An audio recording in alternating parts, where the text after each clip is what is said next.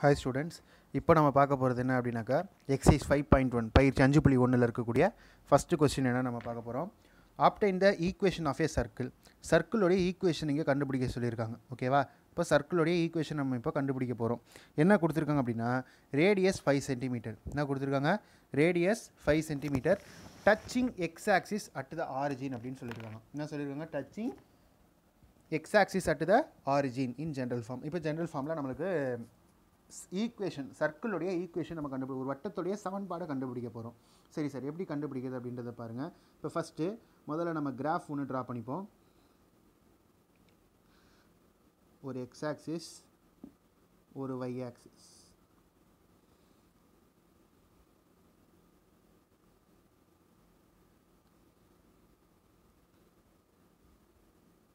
Okay இப்போது இந்த X axis Y axis அதை மென்ஷன் பண்ணிவிட்டு நம்ம இப்போ சம் ப்ரொசீட் பண்ண போகிறோம் ஒரு சர்க்கிள் ஒன்று நான் ட்ரா பண்ணிக்கிறேன். அவங்க அவங்க கொடுத்துருக்கிற டீட்டெயிலுக்கு ஏற்ற மாதிரி நான் இங்கே சர்க்கிள் வரைஞ்சிக்கிறேன். இப்போ என்னென்னு பாருங்கள் இப்போ ரெண்டு சர்க்கிள் நான் இங்கே வரைகிறேன் ஓகேவா இந்த ரெண்டு சர்க்கிளுக்கான காரணம் என்ன அப்படின்னாக்கா இந்த கொஸ்டின் நல்லா பார்க்கணும் நம்ம. Obtain the equation of a circle with radius five centimetre radius five centimetre சொல்லிட்டாங்க. அப்போ ரேடியஸ் அப்படின்னும் போது ரேடியஸ் எங்கே சார் இருக்கும் அப்படின்னாக்கா அந்த சென்டர் பாயிண்ட் தான் ரேடியஸாக இருக்கும். ஓகேவா அப்படி தானே சென்டர் பாயிண்ட் என்னவாக இருக்கும்? ரேடியஸாக இருக்கும். அப்புறம் எனக்கு ஒரு அஞ்சு சென்டிமீட்டரில் வட்டம் வேணும் அப்படின்னாக்கா இது சென்டரை மையமாக வச்சு சென்டரை மையமாக வச்சு இதை வச்சு தான் நான் என்ன பண்ண முடியும்? ஒரு வட்டத்தை நான் எப்படி வரைய முடியும்? அப்படி தானே அப்போ அந்த கான்செப்ட் பிரகாரம் அப்போ இதுதான் கண்டிப்பாக என்னவாக இருக்கும்? சென்டராக இருக்கும். டச்சிங் எக்ஸ் ஆக்சிஸ் அப்படின்னு சொல்லியிருக்காங்க at the origin in general form x ஆக்சிஸில் தொடணும். அப்போ எக்ஸ் எக்ஸ் அச்சில் இது என்ன பண்ணிடுச்சு? தொட்டுருச்சு. சரிங்களா? இப்போ அடுத்து என்ன சார் பண்ணணும் அப்படின்னாக்கா இது பாயிண்ட் என்ன சார் அப்படின்றத மென்ஷன் பண்ணணும். இதோட பாயிண்ட் என்ன? இதோட பாயிண்ட் என்ன? அப்படின்னு நம்ம பார்க்கும்போது இதோட பாயிண்ட் இது ஒய்ஹெச்சில் தான் இது அஞ்சு இருக்குது எதில் இருக்குது ஒய்ஹெச்சில் அஞ்சு இருக்குது இது ஒய்ஹெச்சில் தான் அஞ்சு இருக்குது ஆனால் என்ன அஞ்சு அப்படின்னாக்கா இது நெகட்டிவ் மைனஸில் வந்துடும் ஏன்னா மைனஸ் என்ற இருக்கிறதுனால மைனஸில் வந்துடும் அப்போ எக்ஸில் எதுவுமே இல்லைன்றதுனால இங்கே என்ன ஆகிடும் ஜீரோ அப்போ ரெண்டு பாயிண்ட் என்ன சார் அப்படின்னா zero comma five zero comma minus five அப்படின்றது தான் இந்த ரெண்டு பாயிண்ட் ஓகேவா சரி. இப்போது இந்த பாயிண்ட் நம்மளுக்கு என்னென்னு தெரிஞ்சு போச்சு. அந்த பாயிண்ட் வந்து என்ன சார் அப்படின்னா ஜீரோ கமா ஃபைவ் அந்த ஃபைவ் என்ன சார் அப்படின்னா either plus or minus either plus or minus அப்போ zero comma plus or minus five அப்படின்றது தான் அந்த பாயிண்ட்டு நமக்கு தெரிஞ்சு போச்சு. சரியா? இப்போது அடுத்து நம்ம என்ன பண்ண போகிறோம் அப்படின்னாக்கா சர்க்கிளோடைய ஈக்குவேஷன் நம்ம எழுத போகிறோம் அப்போ ஈக்குவேஷன் ஆஃப் சர்க்கிள் என்ன? நமக்கு தெரிஞ்சது தான் ஈக்குவேஷன் ஆஃப் சர்க்கிள் என்ன அப்படின்னாக்கா x minus h the whole square plus y minus k the whole square is equal to r square இது ஒன்றும் இல்லை சிம்பிள் தான்.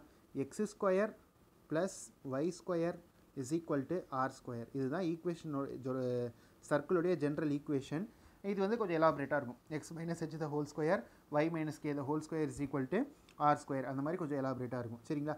இப்போ நம்ம என்ன சார் பண்ண போகிறோம் அப்படின்னா கொடுத்துருக்கிற ஈக்குவேஷனில் இதை கொடுத்துருக்கக்கூடிய இது ஈக்குவேஷனில் இது ஹெச் என்றும் இது ஹெச் என்றும். இது என்ன நினைக்க போகிறோம் ஹெச் அப்படின்னு வைக்க போகிறோம் இதை நம்ம என்ன நினைக்க போகிறோம் அப்படின்னாக்கா கே அப்படின்னு வைக்க போகிறோம் என்ன நினைக்க போகிறோம் கே அப்படின்னு வைக்க போகிறோம் அப்போ ஈக்குவேஷனில் அதை சப்ஸ்டியூட் பண்ணுறேன் எப்படி ஆகுன்றதை பார்க்கணும். அப்போது எக்ஸ் அப்படியே இருக்கும். ஹெச்சுக்கு பதில் என்ன வந்துடும் ஜீரோ வந்துடும் அப்போ x minus zero the whole square plus y k கேக்கு பதில் சாரி கேக்கு பதில் என்ன இருக்குது அப்படின்னாக்கா ஃபைவ் இருக்கு இல்லையா? அப்போ plus r minus five plus r minus five square is equal to r radius வந்து என்னன்னு சொல்லியிருக்காங்க ஆல்ரெடி ரேடியஸே என்னன்னு சொல்லியிருக்காங்க அப்படின்னாக்கா ஃபைவ் யூனிட்ஸ் அப்படின்னு ரேடியஸ் கொடுத்துருக்காங்களா ஃபைவ் சென்டிமீட்டர் கொடுத்துருக்காங்க இல்லையா? அந்த ரேடியஸை ஆறுக்கு பதிலாக நான் இங்கே போட போகிறேன் அப்போது ஃபைவ் ஸ்கொயர் ஓகேவா இப்போது எக்ஸில் ஜீரோ போச்சுன்னா எக்ஸு அதுக்கு மேலே ஸ்கொயர் இருக்கிறதுனால ஸ்கொயர் இந்த ஃபார்முலாவை இப்போ நான் எலாபரேட் பண்ண போகிறேன் a plus b whole square formula என்னென்னா ஒய் ஸ்கொயர் பண்ணால் ஒய் ஸ்கொயர் ஏ ஸ்கொயர் ஓகேங்களா ப்ளஸ் பி ஸ்கொயர் பி வந்து என்னது? ஃபைவ் ஃபைவ் ஸ்கொயர் பண்ண என்ன வரும்? Twenty five plus two a b two a a வந்து என்னதுன்னா ஒய் பி வந்து என்ன சார் அப்படின்னாக்கா ஃபைவ் அந்த ஃபைவ்க்கு முன்னாடி ப்ளஸ் ஆர் மைனஸ் இருக்கிறதுனால இங்கே ப்ளஸ் ஆர் மைனஸ் போட்டுக்கோங்க. ஓகே ரொம்ப கஷ்டம்லாம் கிடையாது சிம்பிள் தான். இஸ் ஈக்குவல் டு இங்கே என்ன சார் இருக்குது அப்படின்னாக்கா ஃபைவ் ஃபைவ் ஸ்கொயர் பண்ண ஃபைவ் ஸ்கொயர் பண்ண என்ன வரும்? டுவெண்ட்டி ஃபைவ் வரும். இப்போ அடுத்து நம்ம இன்னும் எலாபரேட் பண்ண போகிறோம் எப்படி எப்படி எலாபரேட் பண்ண போகிறோம்னா x square plus y square plus twenty five plus r minus two five sir ரெண்டு அஞ்சு என்ன ஆகிடும் பத்து. அப்போ பத்து ஒய் இஸ் ஈக்குவல் டு என்ன இருக்குது டுவெண்ட்டி ஃபைவ் இந்த டுவெண்ட்டி ஃபைவ்க்கு இந்த டுவெண்ட்டி ஃபைவ் என்ன ஆகிடும் கேன்சல் ஆகிடும் அப்போ பேலன்ஸ் என்ன இருக்குது x x square plus y square plus r minus ten y is equal to zero இதுதான் என்ன ஃபார்ம் அப்படின்னாக்கா ரெ ரெக்வயர்ட் ஃபார்ம் புரியுதுங்களா?